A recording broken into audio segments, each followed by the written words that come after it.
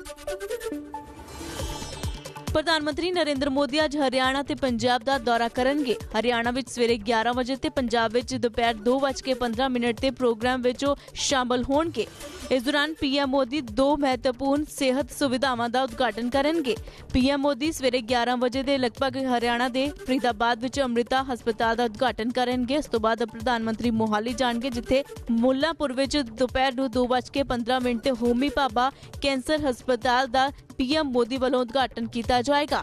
ਕੇਂਦਰ ਸਰਕਾਰ ਨੇ 660 ਕਰੋੜ ਦੀ ਲਾਗਤ ਦੇ ਨਾਲ ਇਸ ਨੂੰ ਬਣਵਾਇਆ ਹੈ। 300 ਬੈੱਡ ਦੀ ਸਮਰੱਥਾ ਵਾਲਾ ਇਹ ਹਸਪਤਾਲ ਕੈਂਸਰ ਦੇ ਇਲਾਜ ਦੇ ਨਾਲ ਜੁੜੀ ਮਾਡਰਨ ਸੁਵਿਧਾਵਾਂ ਦੇ ਨਾਲ ਲੈਸ ਹੋਵੇਗਾ।